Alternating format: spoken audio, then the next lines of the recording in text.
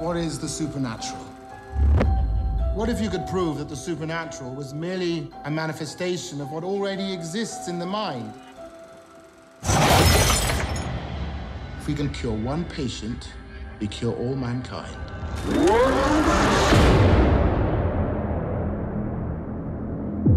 What story are you looking for? Are you a believer? I suppose I don't know what I believe in. I hope you don't scare easily. Welcome to the experiment.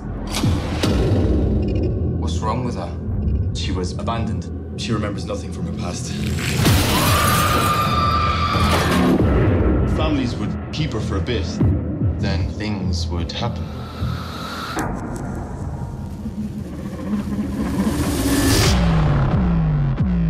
Don't look into her eyes. Don't say anything to her. She's just a vessel? You're not alone, are you? There's something there with you, isn't there? What is it? There's something bad inside of me.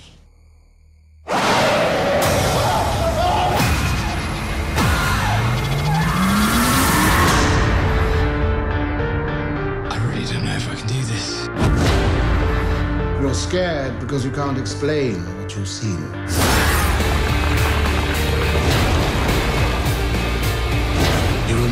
strength for what lies ahead.